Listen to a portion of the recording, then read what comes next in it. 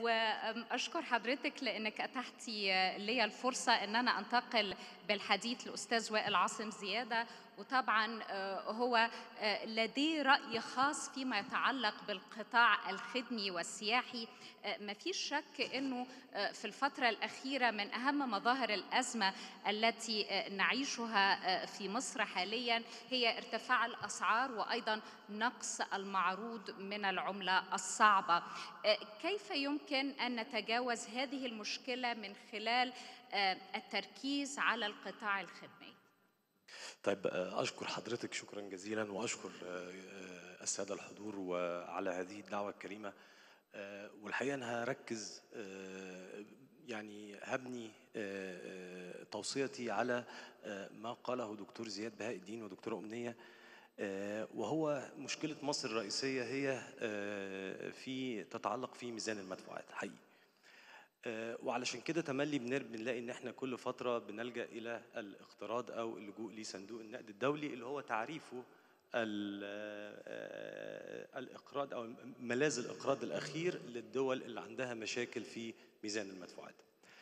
آه، إحنا عندنا مشكلة هيكلية في ميزان المدفوعات وبالتالي آه، هذه المشكلة بتكون ليها حلول والحلول بتكون حلول طويلة الأمد أو long term measures وقصيرة الأمد.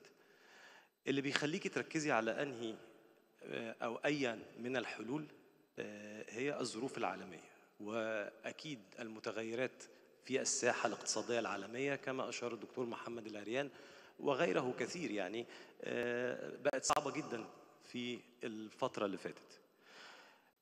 القطاع الخ... وده هيحتم علينا إن إحنا نركز بشكل قوي جدا وبشكل سريع على ال short term measures أو الحلول قصيرة الأمد اللي تقدر تحللي مشكلة العملة الصعبة لأن هي دي الحقيقة المشكلة اللي ما بتخليش الحكومة تقدر تاخد وقت إن هي تستريح قبل ما تلاقي الدورة اللي وراها جت على طول نفس المشكلة تاني ونبتدي سياسات إطفاء الحرائق. آه، القطاع الخدمي قبل بس ما نتكلم إضافة إلى آه، كلام دكتورة أمنية آه، هو أكثر القطاعات آه، اللي بتعين أو آه، بتخلق عمالة. لو شفنا بلد زي ألمانيا وهي قلعة الصناعة في أوروبا القطاع الخدمي ضعف القطاع الصناعي من حيث العمالة. عودة هنا إلى مصر تركيزا إحنا الحقيقة عندنا آه، آه، واحد من أهم القطاعات الخدمية اللي يبنى عليها آه، آه، تنمية مستدامة وهو قطاع السياحة.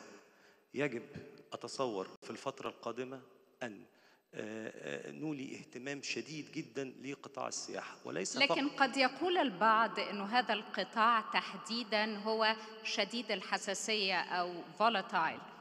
صحيح ولكن بالمقومات التي آه، لدى قطاع السياحة في مصر فتزيد حساسية هذا القطاع إحنا النهاردة قطاع السياحة عندنا في مصر لا في تصوري الشخصي لا نستغل أكثر من عشرة أو أقل في المئة من مقومات هذا القطاع هقول. وأنا هنا لا أتحدث عن إن إحنا نجذب آه، آه، أعداد أكتر ولكن تغيير شكل السائح القادم آه، إلى مصر. آه، على سبيل المثال إحنا النهارده أعتقد الإنفاق آه، للسائح الواحد فقط أتخيل حوالي آه، 100 دولار في اليوم. في تقرير أصدرته شركة فيزا بتقول إن نفس السائح أو يعني من جنسيات مشابهة أو مثلا من روسيا في بلد زي إنجلترا بينفق في اليوم أو في المعاملة الواحدة 500 دولار وبيعمل منها أربع معادلة- معاملات يعني 2000 دولار في اليوم. الحقيقة هو ده المردود الأسرع والأمثل في مصر في الفترة القادمة. أتصور القطاع السياحي. إحنا النهارده عندنا الحتة الصعبة غطيناها وهي المزارات والحتت موجودة والطاقة الفندقية موجودة. محتاجين إن تكون في حقيقي جهود مكثفة من الدولة لتنمية شكل الخدمة الأمن وان إحنا نخلق ما يطلق عليه pedestrian اريا أو أماكن للسائحين ليتنزهوا. دي اللي هتخلينا نقدر نجيب شكل سائح مختلف. ودوت هيبقى مهم قوي في الفترة القادمة. طيب آه، أريد أن أستثمر طبعا خبرتك الواسعة في آه، آه، أسواق المال في منطقة الشرق الأوسط ولو تحدثنا سريعا عن أبرز المعوقات التي تواجه الشركات في التوسع في السوق المصرية طيب آه، أتصور آه، المشاكل المتكررة اللي بنسمعها هي آه، طول فترة التي بتستغرق لإنشاء أي شركات. سهولة الأعمال. أنا الحقيقة أشيد بجهود الحكومة في الفترة السابقة إن هي إن إحنا